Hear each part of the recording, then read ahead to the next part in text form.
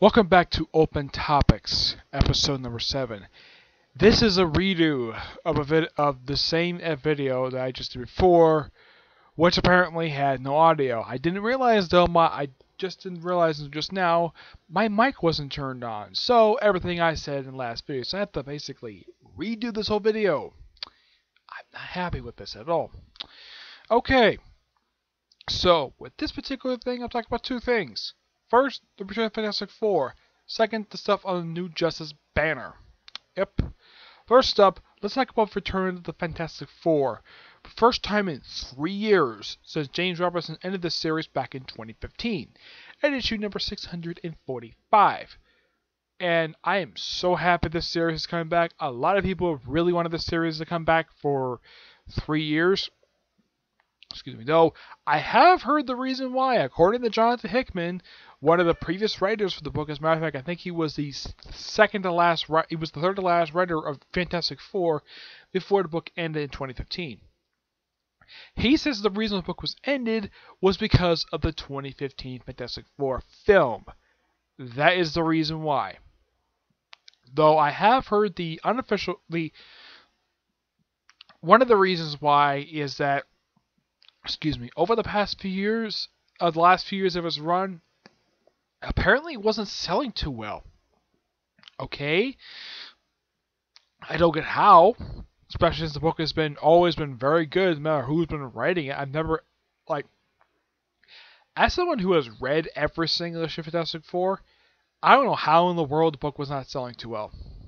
Yeah. I mean, when, when the 2005-2007 film came out, it didn't affect the book at all. I mean, as far as I know, yeah, they're kind of bad, but they're not as bad as the 2015 film, which, and this is something that's really weird. Apparently, my brother and sister-in-law liked the 2015 film, despite the fact of how basically piece of garbage it is. Have I seen it? Nope, I've never seen it. I just haven't had a chance to see it yet. So there's that.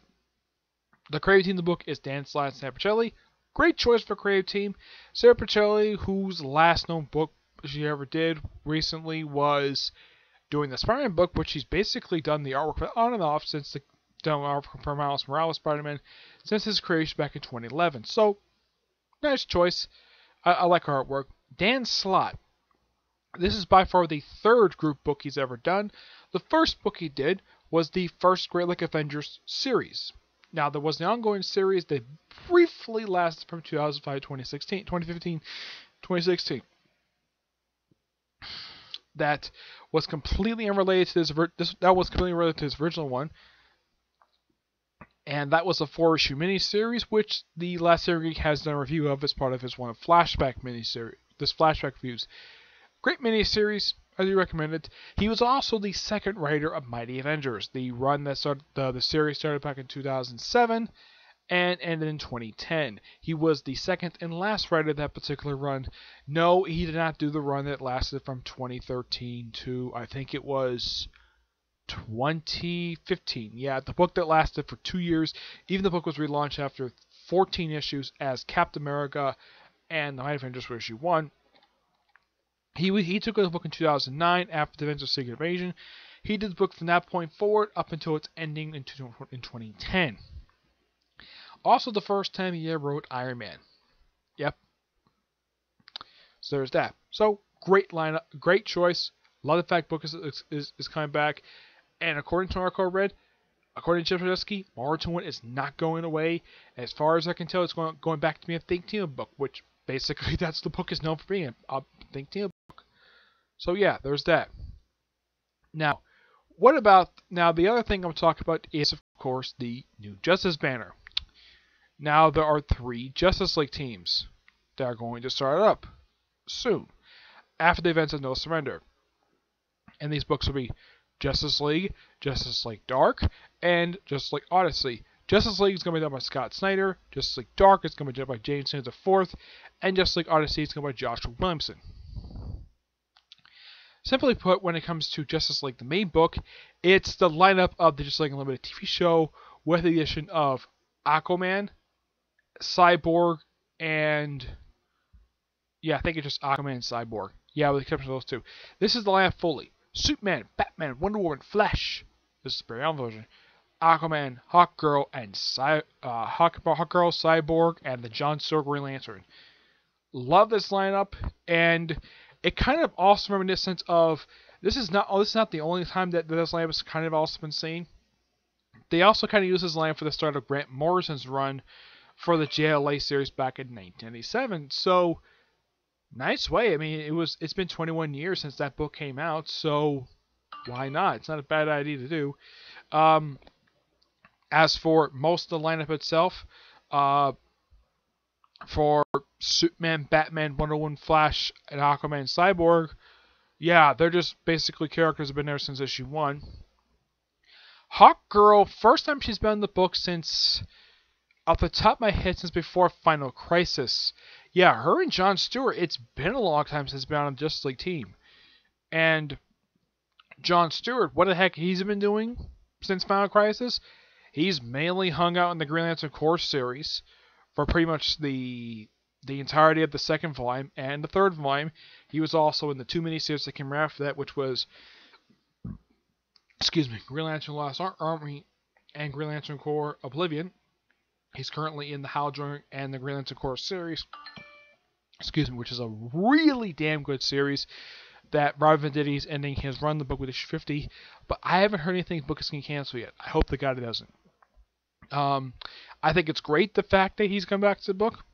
Great idea. Though I do like the fact Jessica Cruz is sticking around on one of their like teams. Get to in a minute. Though Simon Baz is surprisingly off the roster for some reason.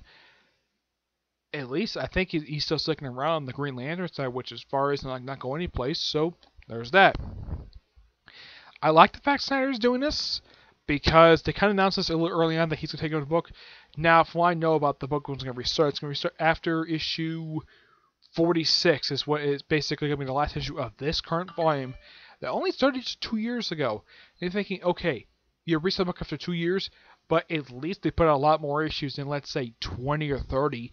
They put out nearly 50, which is actually a pretty good amount. I gotta praise DC for that. Though the book came out twice a month, so there's that. They're gonna, as far as I can tell, Snyder is going to keep the schedule the book has been having since 2016, where it's come out twice a month. So I'm happy with that. Right. Next is on to Justice League Dark, which is going to be done by Tynion himself, and the book is going to have the lineup of. When I get back to the thing, it's going to consist of Wonder Woman, Zatanna, Swamp Thing, Detective Chimp, Man Bat, and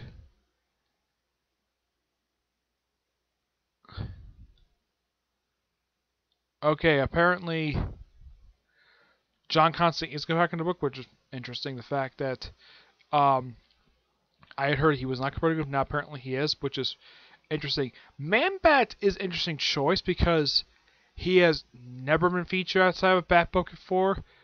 Not think I think of anyways. He has been featured in The Outsiders, but that's a Batman-related title but as something not Batman related, this is interesting, and it's something though he's involved with super, something supernatural, even though he's a science-based character. Uh, Zatanna, plenty of experience with Justice League Dark. John Constantine, basically the leader of the group since for a long time. Swamp Thing, last time he was involved with this group was during the Forever Evil Blight era, during the Forever Blight tie-ins. Uh, that particular crossover, that was the last official time he was part of the group. Wonder Woman, First time she's been involved with the group since Trinity War. Yep, she was part of the group part of Trinity War, so that's interesting. Detective Chimp, not the first supernatural group he's been part of. He was part of Shadow Pact. Look them up; they're an awesome group. They're basically kind of supernatural group that got functionally as mercenaries. This be like uh, I think consists of some of the more known members of the supernatural based group. People like, uh, I don't think Dr. Fate was part of the group. I have heard he's going to be involved with something soon.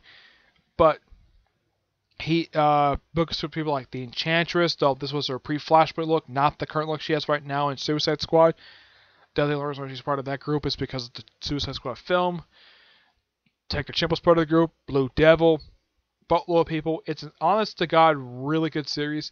I kind of wish that now. I kind of wish something like something like Turtleback would come back for a while, and I'm so happy Justice League Dark did instead, because Justice League Dark was a fantastic title, and I'm still puzzled on why in the world DC ended the book back in 2015. Yeah, do you know how many writers that series had in 40 issues? Unlike Justice League, which had one writer for like 50, it were actually had three writers. You had jo- jo- yeah, Geoff Johns for the first 50 issues. 51 was done by Dan Abnett, and 52 was done by Dan Jurgens. Justice League Dark was done by Peter Milligan, Jeff Lemire, Ray Fawkes, and J.M. DeMatteis, who took over the book with Blight, and he was pretty much the last writer for the last couple of years of the book, and the book was fantastic under his under his era. And it had some of the more interesting members. I mean, if you want to if you want to remember who was part of the group aside from well John Constantine, Stan, and Swamp Thing, here are the other members: Andrew Bennett from the Eye of Vampire title, uh, a new Black Orchid who apparently was from Argus, Doctor Mist, the Frankenstein monster was only part of the group came on with the annual left in issue 30. Dead Man, Madame Xanadu, Mind Warp, who is a new character, Night Nurse, Lovely Woman. Uh, too bad she hasn't been seen since well the book ended. The Pandora character, the one who kind of started the, the whole continuity in the first place, though she can't be part of the group now because she's dead.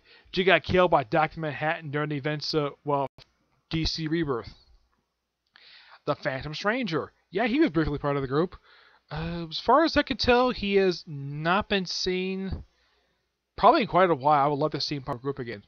Let's see. Swamp Thing, obviously. Shade, the Changing Man. This was a the the revamped version the people were going to in the late 80s, early 90s.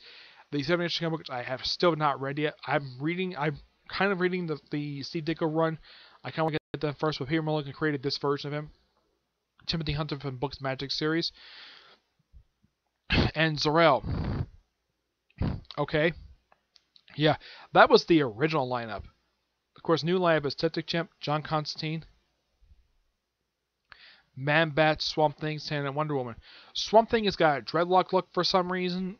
The last I saw him was in that awesome one shot to him and that uh, Tom King. I don't remember who the artist. I think it was Luis Garcia Lopez great book. I highly recommend. I'm, I'm gonna, I'm gonna, pick it up when when, when I get when I go to Free Comic Day.